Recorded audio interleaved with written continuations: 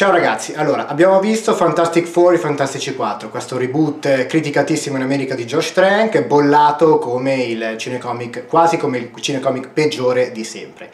Purtroppo è la verità, noi non siamo così cattivi ma il film fallisce su tutta la linea e adesso vi spieghiamo in 5 motivi il perché. Il primo, Ben Grimm, allora alias La Cosa. Partiamo da lui perché è il personaggio che insomma c'è sempre stato più, siamo sempre stati più affezionati, a cui siamo sempre stati più affezionati, insomma. E ehm, qui invece viene relegato, interpretato da Jamie Bell, viene relegato a una sorta di guardia del corpo di eh, Reed Richards che poi eh, viene, scompare a un certo punto dalla scena per poi ricomparire nel momento più sfigato della situazione, ossia quando i nostri decidono di andare nella end zone, nella dimensione negativa, dove poi succede il patatrack e quindi acquisiscono i loro, i loro poteri seguiti seguito appunto di un incidente di percorso, non ve lo svegliamo ma potete immaginare che cosa, che cosa succeda. E, ehm, quindi io gli darei un voto 5 di più, più, più di stima ma in realtà è, è abbastanza, è costruito molto male. Secondo punto che non funziona purtroppo è Reed Richards. Allora, Miles Teller capisco che dopo gli assoli di batteria di Whiplash cercasse magari un ruolo un pochino più vicino al blockbuster della situazione, dato che comunque anche già in Divergent aveva, aveva spiegato di averlo accettato soprattutto per soldi. Ma qui, insomma, il leader dei Fantastici 4 sembra praticamente Rubber di One Piece, insomma, è un uomo di gomma che eh, si allunga e si accorcia praticamente a piacimento, anche gli effetti speciali non, rend- non gli rendono giustizia e eh, fa abbastanza, lascia, lascia abbastanza desiderare. C'è soprattutto una scena che sembra praticamente un mollusco senza spina dorsale, ma eh, insomma, è, già questo fa, fa abbastanza ridere.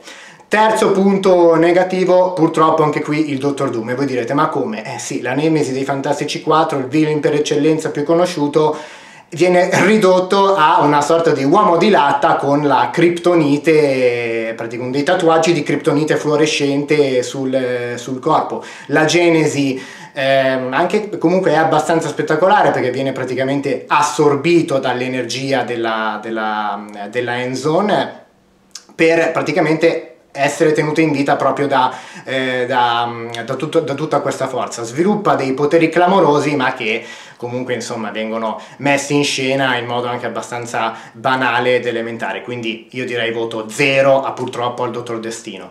E qui eh, entra in gioco appunto il quarto il quarto punto sia la scrittura. Simon Kinberg, che ricordiamo tutti comunque è stato lo sceneggiatore anche della saga di X-Men e anche di X-Men Giorni di Futuro Passato, qui è anche produttore, ci chiediamo che cacchio è successo, probabilmente avrebbe bevuto qualsiasi cosa il giorno prima o la notte stessa in cui ha redatto questo, questo script. Fa acqua da tutte le parti, c'è una prima parte che vi vira più sullo sci-fi e più sul dramma surrealista per poi passare a una seconda parte in cui, sia, in cui il ritmo accelera in modo anche abbastanza clamoroso ed eccessivo perché tutti i conflitti che eh, appunto erano eh, da risolvere riguardo, riguardo tra i personaggi vengono appunto risolti in, in tempo zero, quindi insomma non ha funzionato, è molto, c'è molto poco, molto poco equilibrio. La scrittura di Simon Kimberg, voto 5, anzi 4 al 5 semplicemente perché immaginiamo che prima di scrivere questo film si sia divertito tantissimo con l'alcol. Ultimo punto è il finale, appunto come già preannunciato prima il finale non funziona, tutto troppo, tutto troppo affrettato, il, lo scontro con il Dottor Destino eh, si risolve praticamente grazie a una sola battuta, ossia in quattro siamo più forti! E, e, quindi praticamente poi lo attaccano in massa, tra l'altro anche senza un piano così clamoroso.